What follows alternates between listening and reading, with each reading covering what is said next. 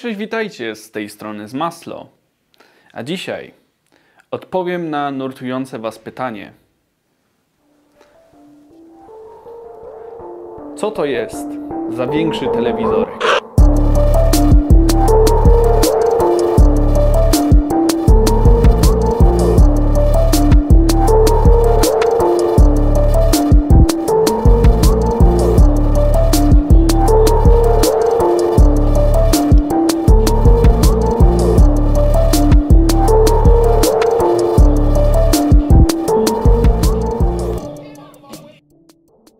Tak, po, po raz y, zrobiłem Wam to po raz kolejny. E, ten większy telewizor ostatnio często widzicie na przebitkach, przynajmniej znacznie częściej e, niż ten mniejszy. E, tak się akurat składa, że te dwa telewizorki to dokładnie ta sama firma, to po prostu jego większy brat.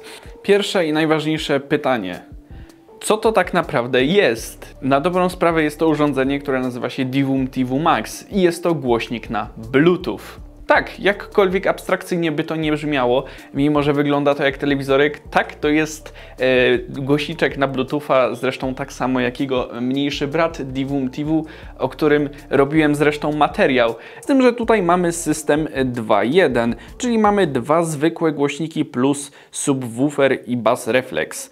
Oczywiście na froncie to, co najbardziej przykuwa Waszą uwagę, czyli ekran składający się z 256 diode LED, Mamy tam oczywiście 16 milionów kolorów, e, no i właśnie to są te tak zwane piksele, które potem składają się w cały obraz. E, na dobrą sprawę Divum TV Max ma taką samą rozdzielczość jak Divum TV ten mały, więc wszystkie pixel arty, które działają na mniejszym Divum TV będą działać na tym większym.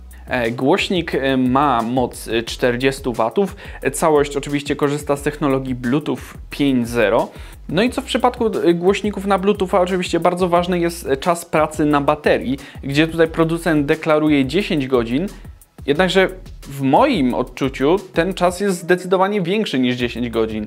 E, myślę, że wynika to głównie z tego, że e, głośnik sam w sobie jest może być bardzo głośny i nie było podane jakby na jakiej głośności ten głośnik miał te ciągłe odtwarzanie, ale w moim przypadku, gdzie ja tutaj mam małe pomieszczenie, jest to 15 metrów kwadratowych, żeby było to dobrze słychać w każdym kąciku pokoju, ja używam bodajże poziomu 3 albo 4 na 15, więc myślę, że ten czas pracy na baterii w moim przypadku, że jest taki długi, wynika z tego, że jakby ja nie używam tego głośnika tak bardzo głośno.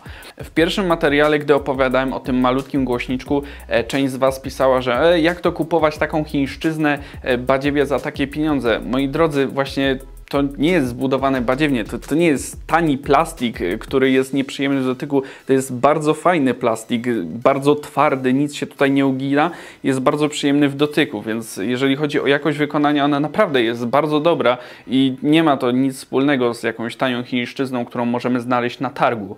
Zresztą, gdyby ktoś z Was miał wątpliwości co do tego, do tego, co mówię, to z tego co wiem, już w niektórych polskich supermarketach można sobie zobaczyć te głośniczki. I to jest coś, e, co ja bardzo często polecam e, robić w przypadku głośników na Bluetootha, bo kurde, oglądanie jakby recenzji głośnika, jak coś gra, no trochę to jest bez sensu. No można sprawdzić jakby pikową wartość, jak głośno głośnik gra sonometrem, co oczywiście sprawdzimy za chwileczkę. Jednakże jeżeli chodzi o samą jakość dźwięku, ja polecam Wam po prostu iść do jakiegoś e, Waszego supermarketu i po prostu posłuchać tego głośnika. Z tyłu za zaślepką e, mamy mikro USB do ładowania, slot karty micro SD, gdybyśmy chcieli słuchać muzyki bezpośrednio z urządzenia, no i wejście AUX. Po prawej stronie urządzenia mamy także pokrętło, które służy do przełączenia się między ekranami.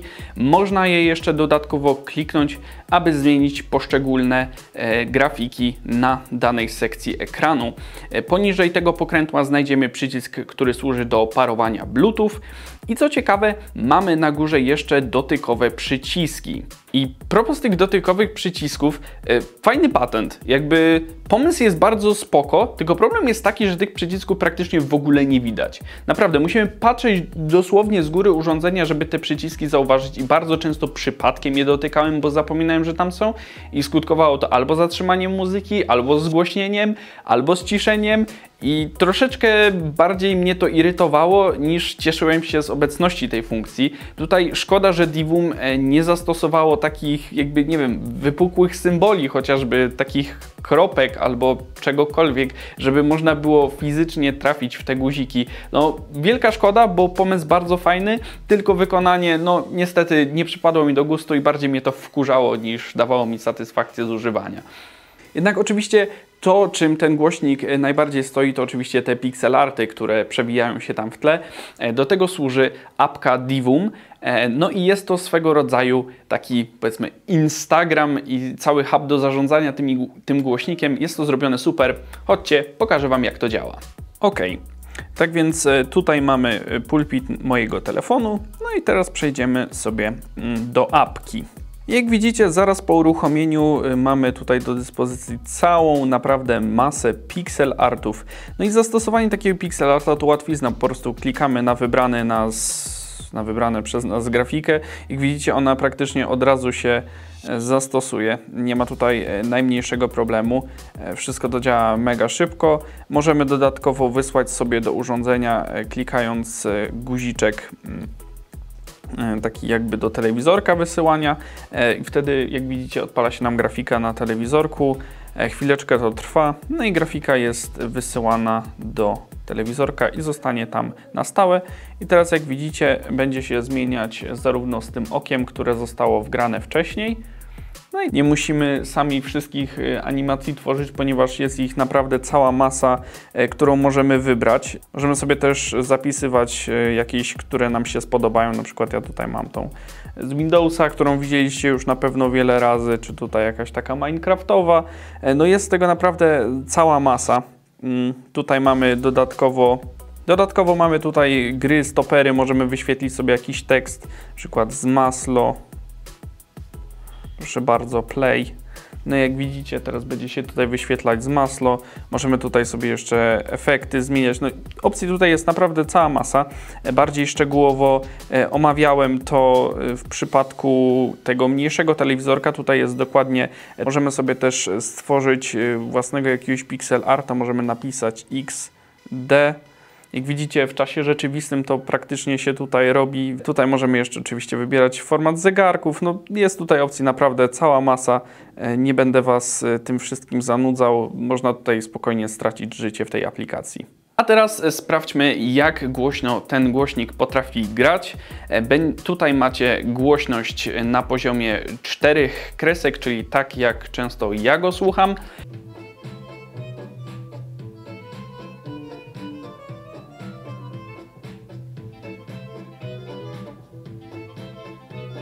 No a także tutaj macie w tej samej odległości maksymalną głośność tego głośnika. Matko.